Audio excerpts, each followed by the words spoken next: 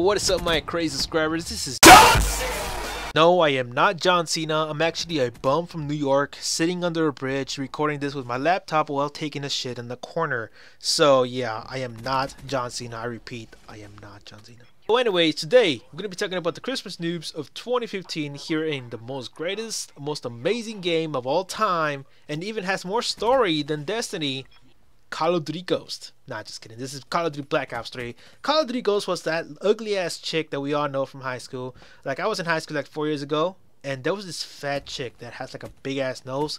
We used to call her Shrek, by the way. Yeah, we all like back in the football locker room. We're like, hey, hey, have you seen Shrek? You know, she's wearing this tight ass shirt, and that's true. Like every single day, she will wear a shirt that's even tighter than the day before, and sometimes she'll wear that that shirt with a smiley on it. I'm not sure you guys have you know, ever encountered a shirt with at least a face on it, but she wore like one with a smiley.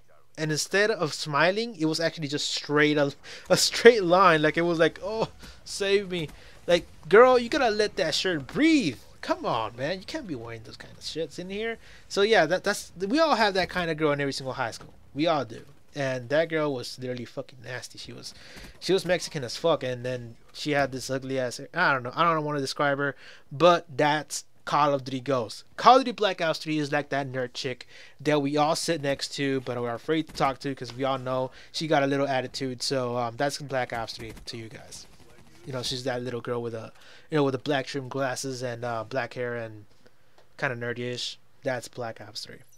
So all I'm gonna say is that this game is pretty good compared to Call of Duty Ghost. So today we're gonna be talking about Christmas noobs again, and Christmas noobs welcome to the game. And um, all I want to say is, God damn, y'all are whooping ass. This game serves as one example of what hap- what's happening in the past few days. So, I've been playing, and uh, most of the time I end up with a team with a bunch of prestigers against up up against uh, a bunch of Christmas noobs. And I was like, oh right, we're gonna own, you know, because we're we've been playing this game forever since day one.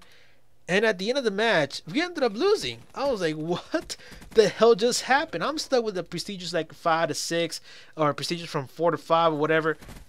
And we still lose against a bunch of teams of noobs. And this game serves one great example. If you guys saw in the beginning of the match, I was losing badly. We were losing by 34, I believe. If you guys go back into the halftime mark, we were losing by 40. And if you saw the scoreboard, you should know how many players were actually prestiged. So um, you can pause the video like whenever right now. You should be able to see who the hell was playing. And in my side, there's this guy called Gamer for Life 671. He's higher procedure than me. And he's going like maybe like 12 and 12, and he's doing super bad against a team that has this level 22 in moral epicness, and Darius 1228, they're prestige zero, and he's losing badly. I'm like, what's going on there, day one player? And one of my you know, speculation that's going on here is that the day one players of Black Ops 3 have lost their senses of their fundamentals. Like, they don't know what the hell to do anymore. Because if you guys remember, on, on day one, day one of Black Ops 3, we all just played the objectives because we wanted to learn the maps first. And once you learn the maps, you know where to go all the time. Like, right, right after the beginning of the match, you know where to go where to hide and everything. So you don't play the objective anymore because oh, I gotten a lot of kills in this direction, so I'm gonna head over here like fast, as fast as I can so nobody can get there first.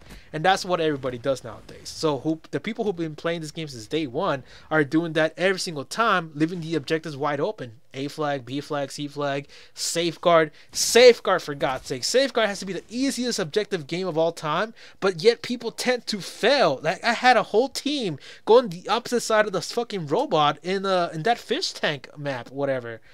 And I was like, man, y'all prestige and y'all losing against a team of a bunch of noobs. They haven't played the game, man. No, they don't even have a single customized weapon, and we still lost. So that's what's been going on lately, guys. That's really surprising because back in Modern Warfare 3, Black Ops 2, and a little bit of Advanced Warfare, I did have Advanced Warfare, Advanced Warfare during Christmas. You know, during those times, we will end up Christmas noobs. We were owning and that wasn't even a big problem. It was just a super easy, you know, thing to do because we can take advantage of them and increase our KDs. But now, I am losing to a bunch of Christmas noobs because my teammates do not want to cooperate with the objectives. It's just seriously an embarrassment. This fan base, this player base in Black Ops 2, Black Ops 2, Black Ops 3 is just a total embarrassment. You guys do not deserve this game. Please return it and do not play on my side if you're gonna suck that bad. If you guys saw the scoreboard, you, you should know who was high prestige in that fucking scoreboard. Hopefully he does have a YouTube and watches this. So that's it guys. Hopefully you guys enjoyed this video. Make sure you subscribe for more you guys want to see more Call of Duty Black Ops 3 and also more crazy topics. I'll see you guys later.